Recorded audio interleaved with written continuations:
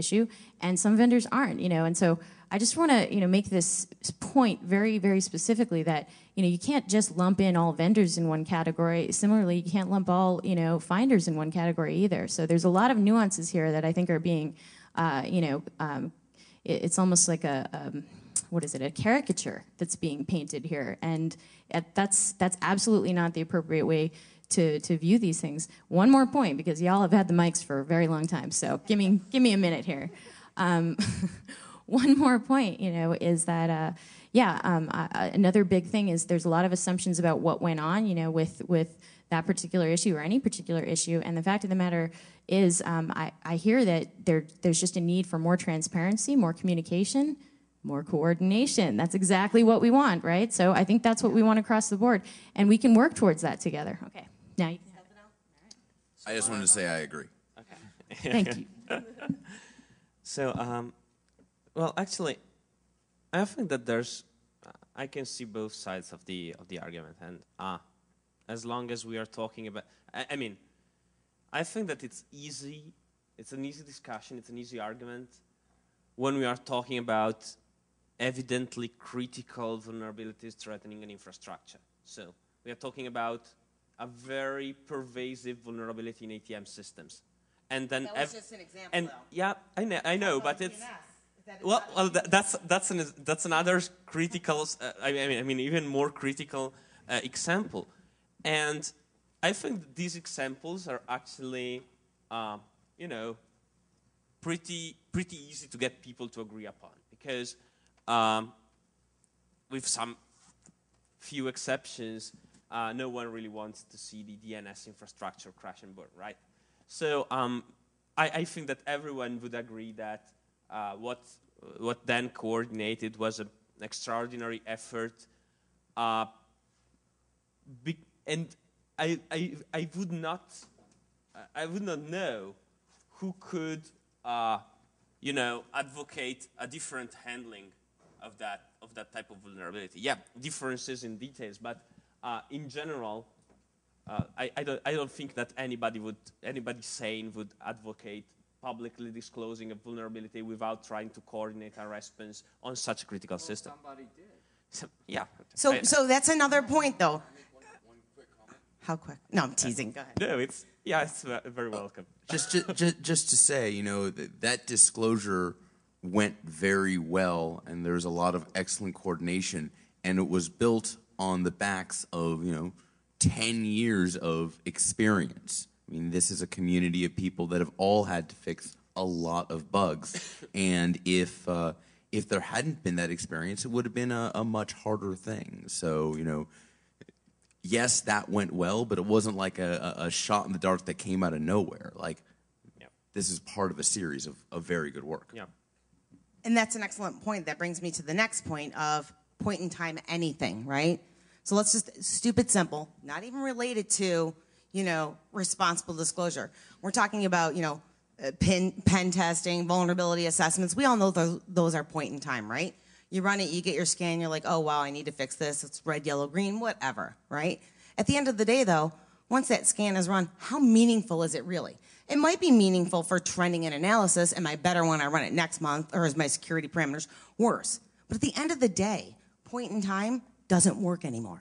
We need near real time of just about everything and anything, especially now that we're moving to the virtualization, cloud platform, hands off, remote, around the world, you name it. So the point is, when we were talking about how long would you wait, and someone mentioned it, and remember what the exact reference was, but you know, how long was someone willing to wait, or when's the proper time? And I think about certain things like how many of you would wait in line in Starbucks for like 30 minutes to get their triple venti non-fat latte?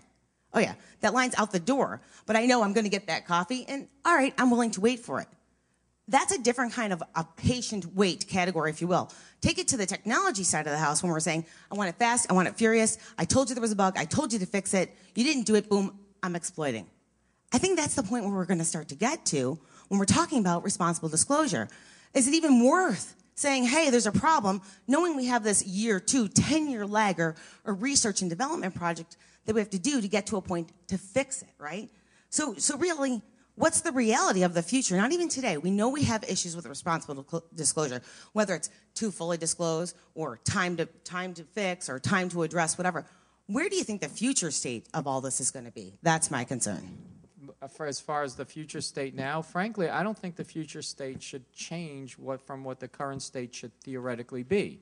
You have to. What is a reasonable period of time to get a response? Well, that the fact is, it varies depending on the application, the vendor, and things like that. Like, just for example, you're not going to go ahead and expect. Well, this is like again apples and oranges comparison for the most part. But if you have a flaw in the fundamental aspect of Microsoft Windows, which is embedded in all version of Windows for the last decade, that's going to take a variety of regression testing, impact tests. Sorry, I'm speaking for you, but impact testing and everything like that.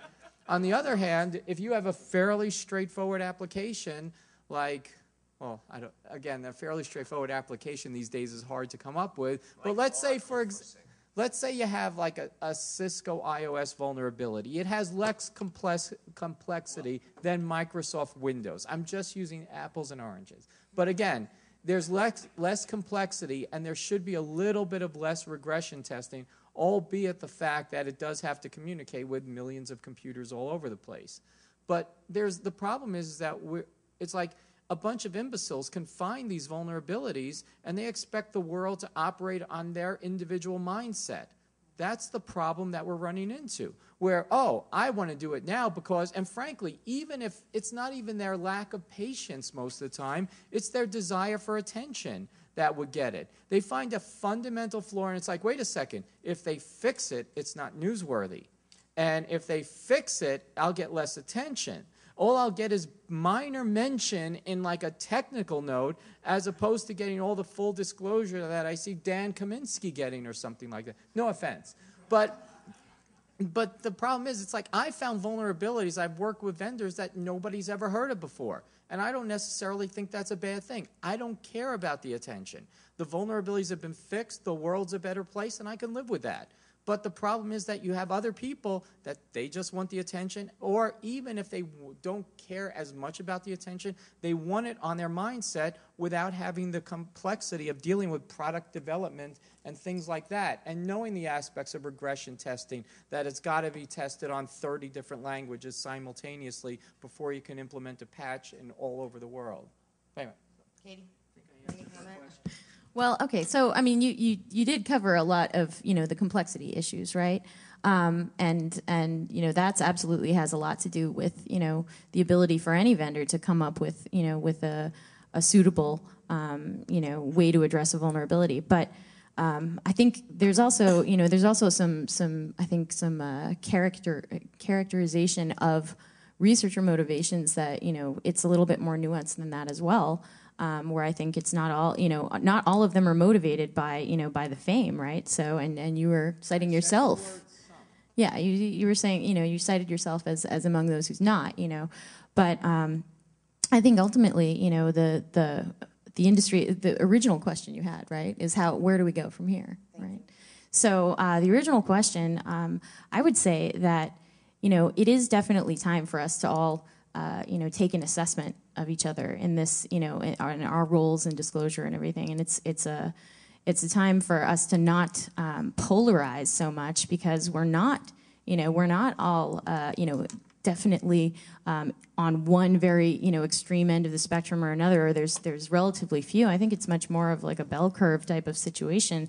And uh, as such, you know, we really need a way to sort of operate interfaith. You know what I mean? Like I said, that you know, it's a religious argument a lot of a lot of the times with with disclosure, and uh, we just we need a way to talk to each other, even when and especially when our disclosure philosophies are not completely in alignment. I mean, if if we all agreed, uh, you know, 100% across the board, uh, I'm pretty sure, you know, th- that uh, that we'd have no debate, right? So that's the um, I mean, I think for us, it's it's a matter of making sure that we are participating, you know, as part of the community, you know, part of the security community, and that includes, you know, other vendors, that includes customers, that includes, you know, protection providers, and of course researchers. And we have a number of researchers of our own, um, you know, who participate in the vulnerability, you know, um, finding and and dis- and disclosing, you know, to other vendors. So, anyway, I you know, my point is uh, coordinated disclosure, you know, or whatever you want to call it. Is it's about us being able to operate in this interfaith, you know, type environment that we live in. yeah, uh, actually, I'm, I'm still, uh, I'm still kind of of two minds about this because on on one side, I agree. Um, I mean, my my company has always done a responsible disclosure, so. Um, we, we, do appreciate that vendors need time to properly fix things. On the other hand, um, some experiences uh, tell me that as soon as this becomes like an industry standard, uh, there's gonna be people that are going to kind of abuse it. Um, I'm talking about personal experiences, but we have been through um, the uh, threat of legal consequences about disclosing a cross-site scripting flaw into a, a web-based interface for uh, an open source forensic tool. And that leaves about two products. And so just, just to rule out, it's not the one by Brian Carrier. So uh, this leaves just the one product. And, and this, you know, this made me think it made me think because this was not a really high impact vulnerability. It was just something that we found during a penetration test. And basically, it could be reduced to very bad programming practices. A code monkey hired to program a specific part of the interface, not really understanding that if you are visualizing data that comes from a suspect hard drive, that data is considerably untrusted. So you should filter it before displaying it. And what were its consequences? Well, its consequences for that specific application were grievous because you could basically a, a, miscreant could construct files on his hard drive or even change something on his partitions in order to foil the visualization of any data on his on his computer drive. So serious for the application, but nothing critical, nothing, no emergencies, no liabilities for the company. So it's not like if I go and disclose this bug, this company is going to suffer from a liability for that. So they, you're trying to categorize. I'm trying to say that as, as soon as you as soon as you imply, okay, this is the responsible way for doing disclosure, this is the, the good way for doing disclosure, and if you do it any other way, you're go, you're bound to be liable in some way for the damage that you cause. This means that smaller pen testing firms or um, single users that are going to, to yeah. do vulnerability disclosure on, uh, on the side from their day job, they're going to be fearful about this. It's, it's just exactly what happens under the DMCA for the copyright protection mechanisms. So yeah. is it is it sort of like uh, due diligence, right? If you put out there, I, I identified XYZ vulnerability or exploit that, you know, even if you're a small vendor. And it's kind of like, you know, you did your pen test and your vault testing, but you didn't do anything about it. You know your report was really bad, that you have all these holes to fix, and you're supposed to be abiding by SOX and PCI, and rut row, you get exposed, right? So now you're violating SOX and PCI because you knew you had vulnerabilities, but you didn't fix them. I'm trying to get address your question, your statement here. Does that mean I think well, I'm trying to figure out what you said here. Does that mean if you're a smaller company and you found bugs and fixes, but you need more time to fix, where it's not that impactful, or it is, are you liable for you know legal activity, legal actions because you're aware of it, but yet you can't address it? Is that what you're trying to say? I, I was seeing it the other way around, but actually it works this way around as well. So, as a society, we want secure code. This is somewhat new. In 1999, society couldn't care less. In 2003, a whole bunch of people's computers stopped working. And then society started caring. As a member of the software industry, I, and I think uh, most people in the software industry, really, really do not want product liability legislation on computer software. People kind of bring it up, and then they think about it for about two seconds and realize not naming names, but there are companies that ship databases today that, if product liability existed, would not be able to ship again until the year 2023.